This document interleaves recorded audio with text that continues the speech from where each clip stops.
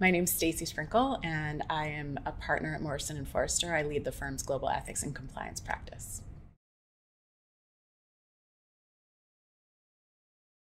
We tend to think about the uh, the sort of major components of a compliance program that fall within ESG. Compliance more broadly becomes particularly important in as much as companies are making statements externally to you know whether it's to shareholders or, or otherwise about their ESG programs and compliance becomes a tool to make sure that there are um, facts and procedures and policies in place to back up those statements and to make sure that um, those statements are accurate.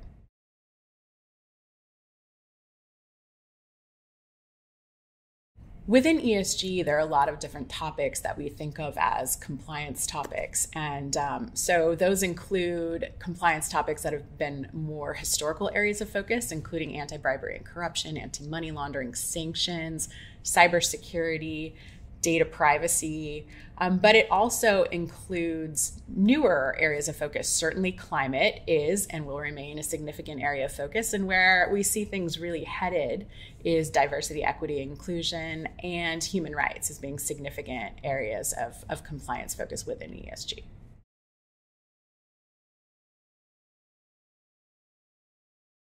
What we're finding increasingly is that companies are tasking compliance teams with either the entire ESG program or aspects of an ESG program. And this makes a lot of sense because the skill sets that compliance teams have really cross over to the needs of an ESG program.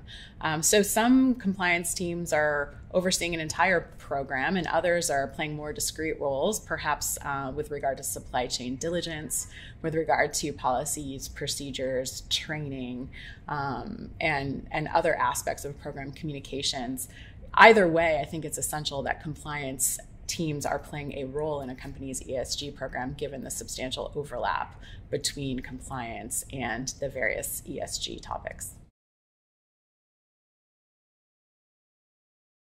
It can seem overwhelming uh, if you're tasked with setting up an ESG program because that can mean so many different things. And the way that I advise companies in general is to take an inventory of what you currently have most companies at this point, certainly not all, but most have components of what we think of as an ESG compliance program. So if companies start out by taking an inventory of what they currently have, it can seem a lot less daunting. Um, then what we'll do is take a look at, at risk and how ESG risk manifests and try to identify those gaps. Where are those places where you'll get sort of the most bang for your buck in terms of focusing compliance resources on developing programs to support ESG initiatives?